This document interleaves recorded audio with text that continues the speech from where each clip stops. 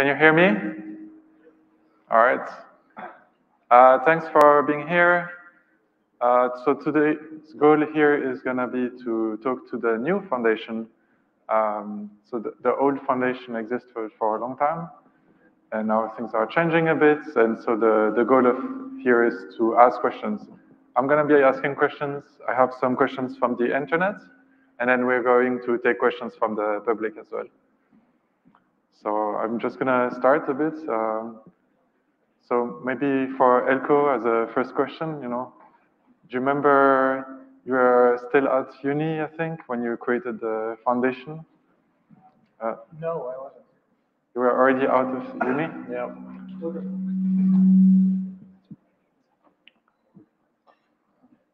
So no, I was not at the university. I was at LogicBlox at the time. All right. Do you remember? 2015, uh, I remember. 2015. Do you remember what prompted you to create the foundation? Um, basically, we needed a way to collect donations, and I think at the time uh, we didn't have stuff like uh, Open Collective. Um, so we uh, believe that we needed a legal entity for that. Um, so we uh, just went to a notary and uh, drafted some statutes, and and that was it. Cool. Um, I guess uh, I'm gonna take uh, next question from uh, the discourse.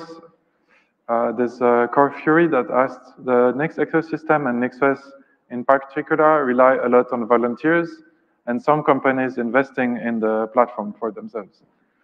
The, this leads to some necessary but toilsome work being neglected, neglected, like the security roundups, when volunteer goodwill falls behind the relentless work, is this something the foundation is looking to improve, or and how? Um,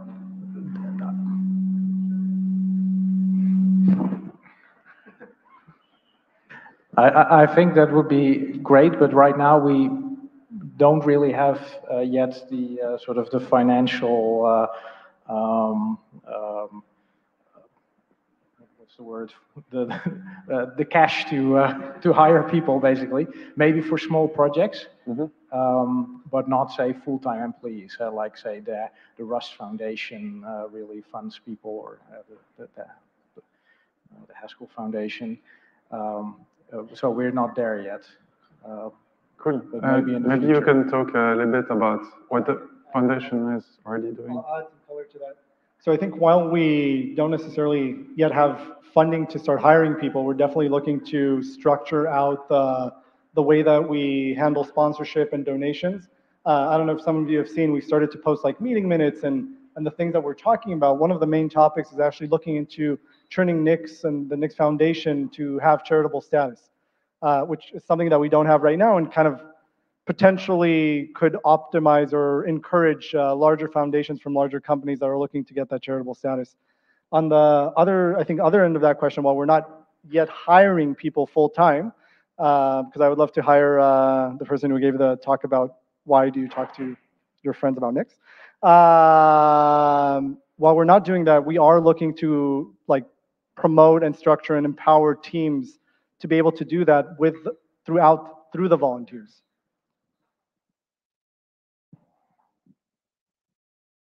Um, maybe you want to talk a bit more about what are the things you're already doing, like uh, maybe Summer of Nix or some things like that?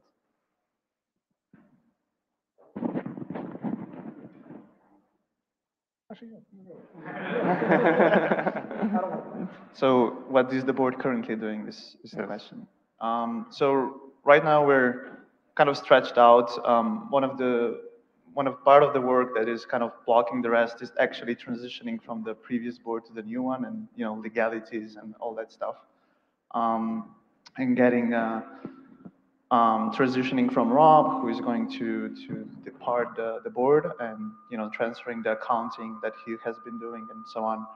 Um, Ron has initiated the, the work to do team empowerment so that we are more transparent to each other, who is working on what, and and and kind of keeping track of of meeting minutes and things like that, and and just signaling to to the community where there's work to be needed, which actually I think answers the previous question where.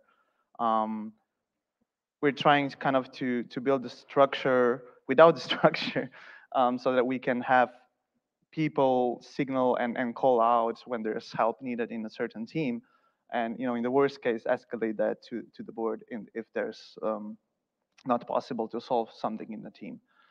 Um, we've been working on a kind of like roadmap for that you know we think is is important and the vision of the Nix project, which we will you know open up and try to to get feedback from you based on what we think and you know to kind of feedback that in. Um, I'm sure I forgot stuff. Uh, yeah, so actually one of the biggest things that uh, the uh, NixOS Foundation does is that we're a partner in uh, NGI Zero, which is this uh, uh, European Commission, I think Horizon 2020 project to, yeah, rebuild the internet, make everything better. And so usually, historically, these projects were large grants that could only be obtained by uh, universities or consortiums of uni- consortia of universities and big companies, uh, and they were out of reach for, say, a single open source developer uh, who is hacking on some project. Uh, and NGI Zero enables them, so you can apply to an uh, NGI grant for, say, 50,000 euros and use that to to to hack on something for a year.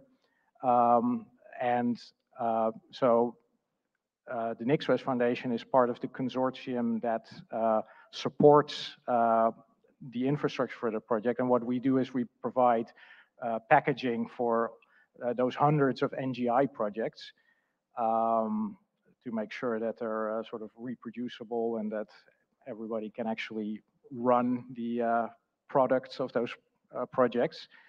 Um, and now, again, uh, since the NixOS Foundation was only three people and uh, we were uh, starved for time uh, for several years, we uh, didn't really have the ability to execute that very well. uh, so a couple of times we hired people like Jonas to do some packaging, but it was still going slowly. And then next year, or last year, we started organizing the Summer of Nix with uh, Matthias uh, somewhere here, I think. Did uh, uh, incredible amounts of work on that uh, to, yeah, let sort of patterned after the the Summer of Code, the Google Summer of Code. so get had, get people to hack for a couple of weeks over the summer, uh, get something new out of it, and also uh, yeah, uh, learn something about Nix and get, get some education out of that. And yeah, that that has been super helpful. Um, and I can mention that uh, there are a couple of new NGI zero rounds. Uh, so I think two new or three projects, I think for something like 10 million euros. So there are, I don't know, don't quote me on the exact amount, but so if you have an interesting idea that you want to work on, then you should uh, consider applying for an NGI zero grant. And uh, yeah, so th- there are a couple of Nix related projects that have been uh, done through NGI zero. Cool. Uh. Last statement, I promise on this question. At the end of the day, we're, like, I view it as, we have, there's tech debt, we have? We have board debt. And we need to pay it. So, I'm kidding, okay. Um, so really, it's like taking all that board debt that have, has kind of accumulated over the years, right? And really turning the board into a, a service to the community and the project. So there's a lot of things that were mentioned here that are just like, we have to get it done, right? So that's all. So that leads to the next question I had.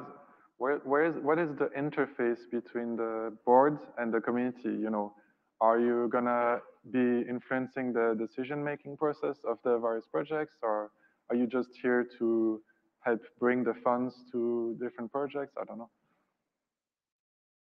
I'll answer and pass it to Théophane. Um, really, the- I think that's a good segue, right? The, the board is in service of the project and the community. So what that means for us is we each take from our time voluntarily completely to go and invest back into more of the macro level of things, right? Making sure that the Nix survey runs, making sure that we can create structure for team empowerment. But really the bottom, the core value, that the way that I view it, and I'm sure that others here on the panel with me have potentially different opinions, is that we're here to set Nix up for success, and that's a very ambiguous term that just has a lot of meaning to it. Um, so in terms of do we make decisions? Hell no. Uh, we can't. We, I mean, everyone does whatever they want to do. We're just here to kind of help push it along, help answer the questions that you have, and ideally, once we're fully optimized, take your feedback and, and get that shit done.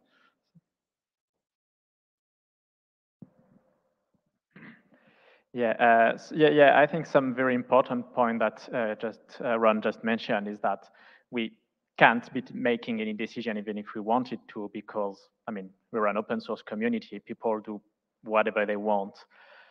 Um, but yeah, the thing that we can help with and that we've been trying very hard to do in the past few months is just to give the the structure so that people can make their own decisions. Um, so uh, like the whole team empowerment work, which is just starting to emerge uh, thanks to uh, Ron's insistence on particular on getting the, the details ready and that we're now beta testing on a few teams are, I think, uh, like a, a, good representation of um, what the, the board should look like and how, how we should help the community.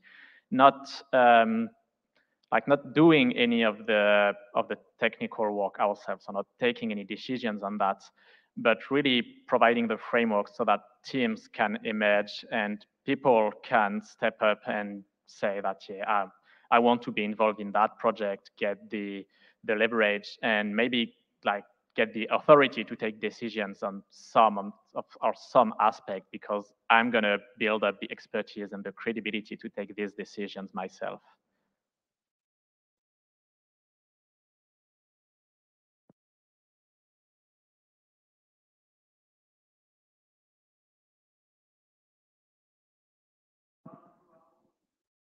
Ah, uh, yeah.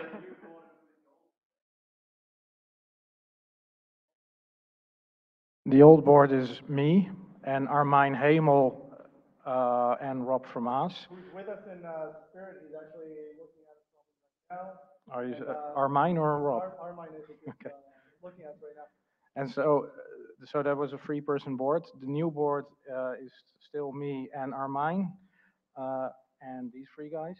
Um, mm-hmm. Yeah, so so to say who I am, yeah, so I started Nix, uh, and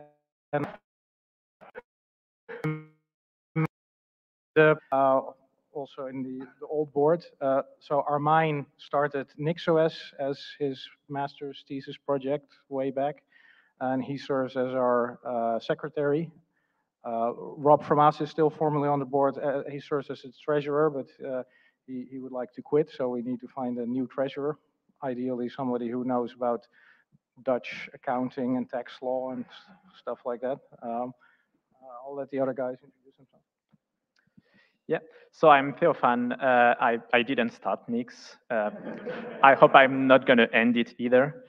Uh, but I, have been a, a Nix contributor for some time now. Uh, I'm working at Tweag and uh, well, I've recently stepped up as a board member and also um, part member of the new Nix maintenance team, um, which gives me two hats. So as a, as a board member, I won't be taking any decision. I'm just going to empower myself to take decisions as a Nix maintainer. I guess uh, you work for Tweag, um, and Armijn works for uh, Tjaldur Consulting. Uh, so I'm um, Domen. I I think I entered the community about almost 10 years ago. It's been quite a long time. Um, too late to start Nix, but um, and yeah, I've been I don't know. I've been NixOS release manager for a few releases, I think, and um, about four years ago I started Cachix um, and kind of focused on improving the, the infrastructure and documentation um, or developer experience, if you may call it. Um, yeah, that's more or less it. Hey, I'm Ron, um, CEO, co-founder of Flox. The kind of my background, software engineer, IDF, intelligence units, then went into uh, startups a lot. Uh, built a kind of like an traveling salesman algorithm for many to many, if you guys are familiar with that space. Uh, then uh, prior, what, what kind of brought me closer to Nix was that my previous position was uh, I led developer products at Facebook. So literally any product that developers used, any of our like 20,000, more than once a day, flowed through our like product teams at some level, and we were really kind of focusing on how can we introduce better products, how we can we empower developers and, and grow that, some open source, some not. Um, big on nonprofits, so just kind of my, my side hobby is I uh, also manage the largest Israeli tech nonprofit in California, 4,000 members. I love conferences. I love like organizing these things, but Ryan is better than that at me apparently, and so is Alexandra. Uh, with that, uh, I then uh, joined kind of the Facebook journey took me to the realm of uh, developer on demand, where we built a, uh, we completely replicated the iOS toolchain on uh, Linux in order to abstract away kind of remote development. That kind of brought me into the Nix realm and into partnering with Michael. But that's my quick background. I'm the furthest, furthest from here. I live in California. Any other questions about us? Hobbies? Any, any other questions from the public?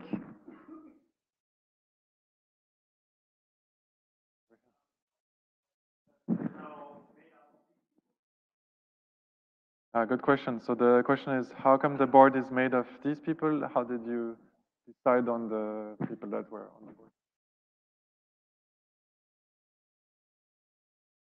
Um, yeah, so we wanted something that is kind of representative of the um, uh, the, the, various big stakeholders in the community. So that's uh, uh, several companies, but also it represents uh, the project as does exist for a long time, so the open source community. Uh, so yeah, there's there's uh,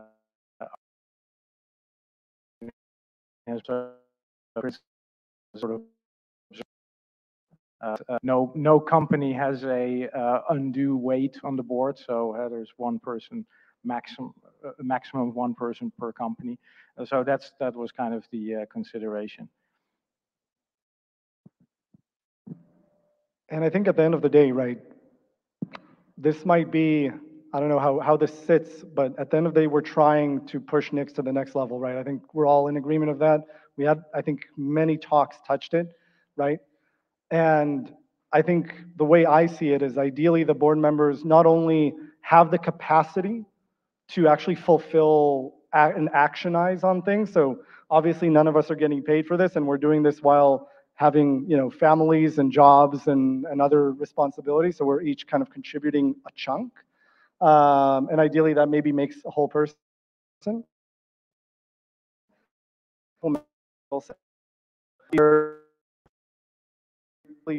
less technical, but of course more on the like product and, and structure side of strategy and things like that. So, so each of us kind of, I see each one of the, the folks standing, sitting to the left of me um, as just bringing in viewpoints and, and interests that at the end of the day also represent you know, an exhaustive view and an inclusive view of the community to some extent, because we can never get to 100, um, but also have meaningful value in like driving decisions.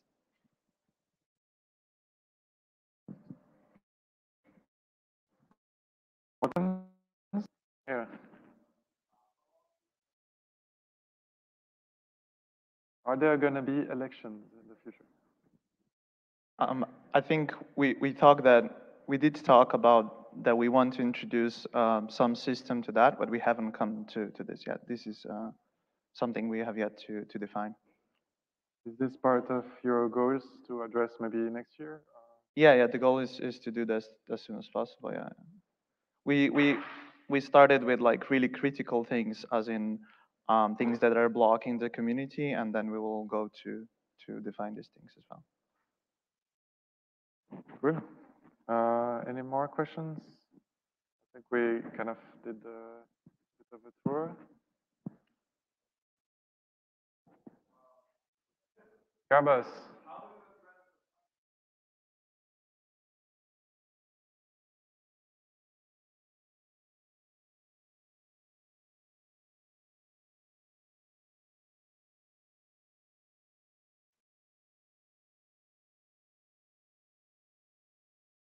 How to attract more funding and how to spend it as well.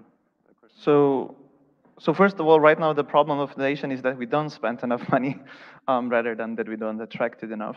Um, so we, we have to define a bit, you know, where, where what do we want to invest in as a as a community, um, and then we're also talking about um, introducing some kind of sponsorship packages that companies can can uh, donate and support NIX and also um, in return gain, you know, see the transparency, how the foundation is doing and, and what are we investing in. Um, so again, a lot of backlog that we have to, to go through. So actually, um, we, A, the, the foundation also donated, uh, I think, 10,000 uh, to, to NixCon. But I think this was the first year that we were able to actually, uh, this is like the, the board debt that I was talking about actually handle all the NixCon sponsorship from the board. Something that we had to kind of figure out and took us a while, but we were able to do that and we intend to keep doing it. Other things that we're thinking about is um, what I mentioned about getting charitable status. So in terms of increasing the pipeline of, of sponsorship and, and funding, we need structure like Domen mentioned, but we also need kind of like incentives. Um, and you know, we've mentioned team empowerment a few times. We really want to make sure that we have a prioritization to the teams that are, you know, either, let's say, optimizing NIX or on the critical path for NIX, and making sure that they're funded in the way that is optimizing the entire community. But that's just starting thoughts. But again, we're happy to get feedback in other areas that are worth looking into. Yeah, so one thing I forgot to mention, um, you know, we, I, I think we have Ocean Sprint um, planned very soon, and this is going to be the sixth Nix event that that I've organized or co-organized. Um, but what I would really love to see is that the foundation would have some some budget to to allow anyone to to say, oh, hey, I'm organizing a meetup in London. You know, can you cover the beers or you know some drinks or something that you know would allow the event to happen and flow. Um, and I think that would be something within the scope of the foundation that we could you know support the, the community from this side and and also um, support any kind of Nix related events. Um, again, a lot of things to define what what counts and what would be the budget and so on. But this is uh, so, so, yeah one of the things.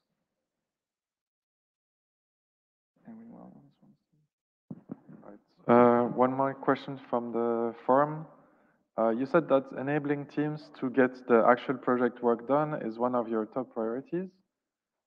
How specifically will you ensure that teams are supplied with the resources, like time, uh, board decision, advice funding, they need to work effectively?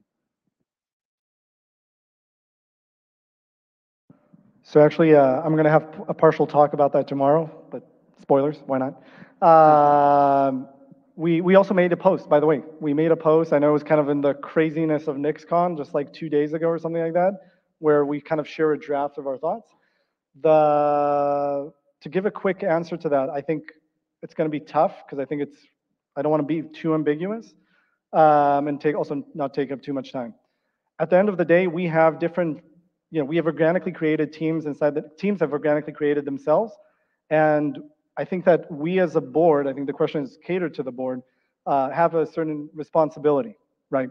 One is empowering the community itself to keep being a green field and keep being able to create more teams, collaborate, and do the things that you guys want to do, to the, the things that we all want to do. The second responsibility, I think, is that making sure to recognize and prioritize which teams are on the critical path, i.e., infra team or, or AWS buckets, or something like if it falls tomorrow and no one can pick up the phone because that person, the only person with the access key is on vacation, that's not a good look. So I think it's it's two-sided, right? Empowering the community, but also providing the structure and the funding and everything else to make sure that the critical path teams are optimized.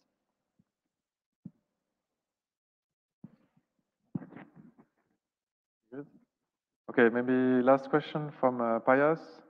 Some very important RFCs have been in discussion for hell for months, if not years. Um, what is the plan on making this whole process uh, move forward? Or is it something the foundation would address? Or is it separate? Um, that, that's a hard question. um, I, I think the, the RFC process, um, well, there, there are different sides to it. One is that the RFC process itself, I think, needs some improvements to to how it was it was uh, inspired by Rust, but you know we're our own community, so we, we need to figure out what works for us. Um, that's one part. Um, the second part is that some RFC will just not go through because you know either somebody gives up or or um, you know the kind of there's no decision to be made.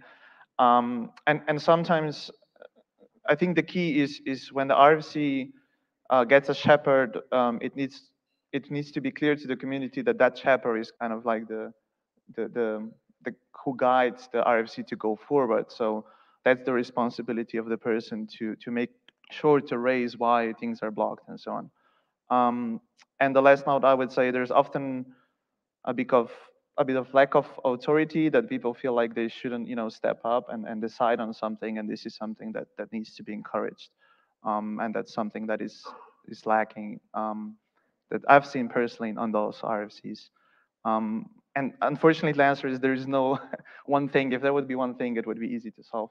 Um, but again this is a good example of um, creating structure and, and raising things to the board. And then, you know, we would try to talk to the people, you know, if this would be made more concrete, which are the RFC, we can go talk to these people and kind of figure out what's going on and, and you know, raise proposals, um, what could be improved in the process and, and so on. Um, yeah. So to to that, uh, I, I think ideally the board wouldn't be making technical decisions. Um, so probably at some point we want to have some sort of core team that can make those technical decisions that are sort of cross-cutting for the entire project, like uh, whether to adopt flakes or something like that. Um, but uh, I mean, the board is not really the the place to uh, have that kind of uh, discussion. But right now we don't really have any mechanism to get decisions that are stuck, say, in, in the RFC process, but that are kind of critical for the success of the entire project uh, unstuck. So uh, yeah, we need to figure out a way to improve that. Yeah, to, to add to that, I think like, yeah, the RFC process is, I mean, it has its own problems, but it's something that exists in the community that definitely needs improvements, but is up to a certain extent working. And I, I mean, so I don't know exactly what the scope of the question was, but uh, if the question is, should the board like just chiming on a specific RFC and say, well, we as the board have decided that this RFC should pass, I think that uh, except in a very exceptional situation, uh, well, and I don't have a, an example yet, like that would be uh, going beyond what the board is supposed to be doing uh, like the RFC process exists for a reason. And if it's stuck, then we need to help it. I mean, we, the, the community, need to help it get unstuck, but it's not the, the role of the board to just take decisions instead of the, of the RFC process. Uh, now, the thing I think where the board can help, uh, like Domen said, is just uh, support the RFC team um, I mean, getting through the process and uh, provide any kind of help that can be needed to refine that process where it needs to be. Um, maybe even provide some, yeah, we discussed a bit the, the financial matter. If I don't like, I, I could easily imagine a case where some RFC gets stuck because everyone agrees that it's a great idea, but no one is able to implement that. And that's also potentially something where the board could help if there's a, if there's a clear consensus that that's something that would be beneficial to the community. Okay, the clock is ticking, so I let Jonas for the next question. One more question? Okay, did I forget to ask any question or something you wanted to talk about that uh, we didn't get to address? Yeah? Uh, you.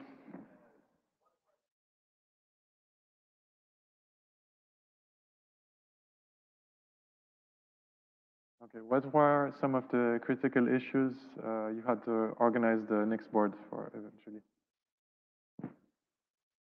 I think one um, was AWS buckets. We don't own them, but we need to create structure around that in order to make sure that we own that and then we can actually mitigate and resolve any issues fast. The current standpoint, it's not there, right? That's just an example of like the board debt that I was talking about earlier. In terms of that's that's like a really niche example, but at, at the macro, I think, you know, I hope I, I don't offend anyone, and of course, especially not not the previous board, but I think the board needs to be here more, right? While no one here is getting, well, not no one, there are companies that pay people full-time salaries to, to work on Nix full-time, but we don't, you know, we're all volunteers at the end of the day, and there needs to be some sort of like, I don't want to say we're kind of here to do anything that needs to be done in order to support the community, but that's kind of what it is, right? So I think uh, going back to the example of, uh, of team empowerment as an example, right? We kind of expedited through that because that was a need that we felt can really help out the community and unblock some areas. Uh, So, so to connect the previous question to this one, I would say like, um, you know, I, I know that a lot of people are unhappy with the Flakes RFC and how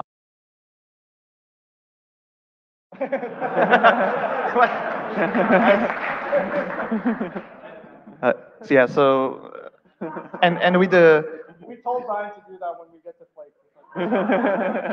with the with the new Go uh, ahead. Nix team, um, the communication will flow, you know, week to week, uh, and these kind of issues can be raised sooner rather than too late. Um, and and I personally believe that a lot of these issues come from the lack of communication, and so either that would be, you know, the community raising up issues to the board, but ideally to the team that is, you know, part of the ecosystem. And and that, that's a great example of you know like Ron said what we need to do and and the things that we see from the community coming as issues and you know put that structure into that so that it's not just you know up in the air and open to whoever wants to do it which is great but sometimes there needs to be a bit more structure to it I should have a question back to the folks in the room. Who do you escalate to when an RFC hasn't passed for a few years? Right? So, so exactly, like we're not going to make decisions, but ideally we'll provide that escalation path, for instance, right? That, that kind of go to, and then we meet weekly. We each kind of even give, I would say, 10 to 15% of our time on a weekly basis to these things and surface these things and you know we're here to tackle them and see what we can do can't promise anything but it's kind of what we're here for All right, thank you, everyone. I think we're, we're good.